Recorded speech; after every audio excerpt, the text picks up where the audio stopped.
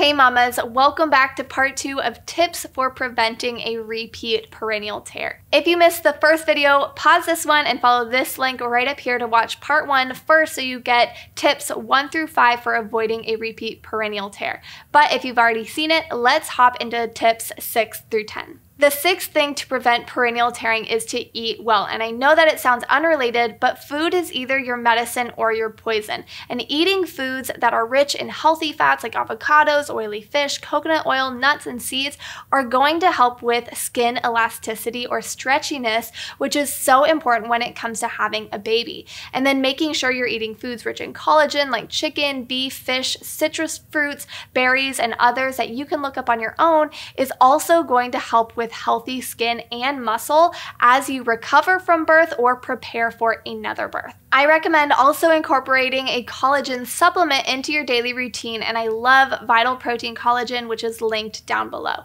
Now, collagen only works if you have enough vitamin C. Research actually shows that women who took supplemental vitamin C after birth had a better and faster recovery and minimized raised scar formation, which is really valuable when you're trying to avoid a tear since scar tissue is not going to be as supple and elastic as normal skin tissue. So, eat lots of colorful fruits fruits and vegetables to make sure you're getting enough vitamin C. And you can even take a supplement since it's hard to overdose on vitamin C. And if you do, the risk is that you'll have diarrhea, which is pretty easy to fix. You'll just back off taking that amount that you're taking.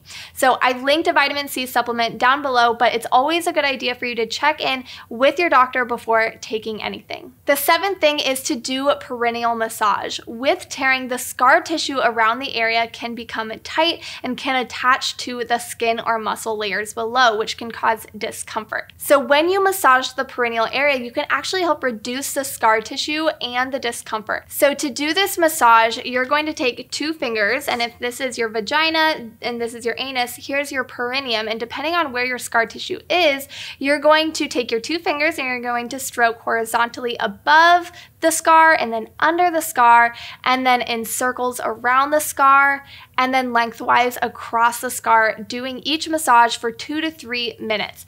And this helps desensitize and break up the scarred tissue. When you're ready, you can perform the perineal massage, which I explain about in this video linked up here.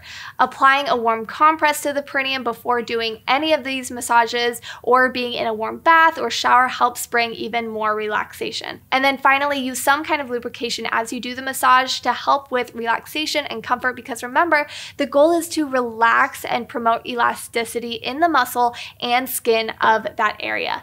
I recommend vitamin E oil or coconut oil, both of which are linked down below. You can do this massage whether you're pregnant or not, but if you are pregnant, you'll want to start doing it at around 32 weeks if you've had a third or fourth degree tear that you're hoping to avoid. Number eight is to try to orgasm often. And I know it might sound silly, but orgasms actually help tone the pelvic floor and increase blood flow for perineal healing.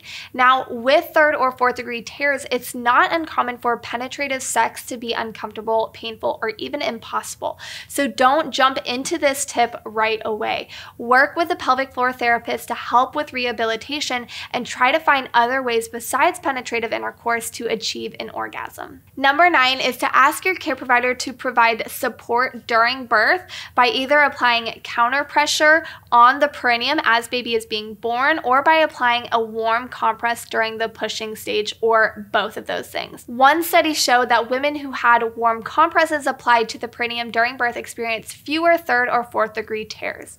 And lastly, make sure your birth team is aware of your goals, educated on how to help you achieve them as best as possible, and ready to advocate for you in your birth space. For example, your goal is to avoid a repeat third or fourth degree tear. So, to help you achieve that, one thing your team should know is how to coach you to breathe during your surges and remind you of positions to give birth in.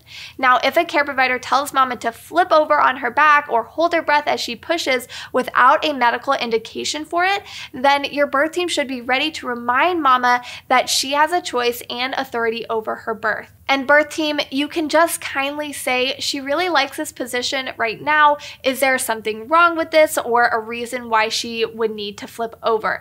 And then that opens the door for true consent or refusal. So team, be ready to step in and advocate for mama to achieve her goals. So those are my tips for mamas who have experienced a third or fourth degree tear and are hoping to avoid another one. It can be traumatic to experience a tear like that during birth, so it's important that you find emotional and mental healing as well as physical healing. Going over your birth experience and uncovering how you feel about the big events, finding answers to your questions, and learning about the unknowns are all ways to help heal from traumatic births. And then make sure, mamas, you see a pelvic floor therapist. I can't stress that enough when it comes to perineal or pelvic floor healing. It might seem overrated, but it's not, and it is crucial for you to find a great one and do some shopping around until you do. And then lastly, knowledge is power, so check out the Built to Birth course, part one about birth and part two about postpartum, and a lot about pelvic floor health. That's in the description below. So thanks for being with me in this video, and I will see you in the next one. Bye, mamas.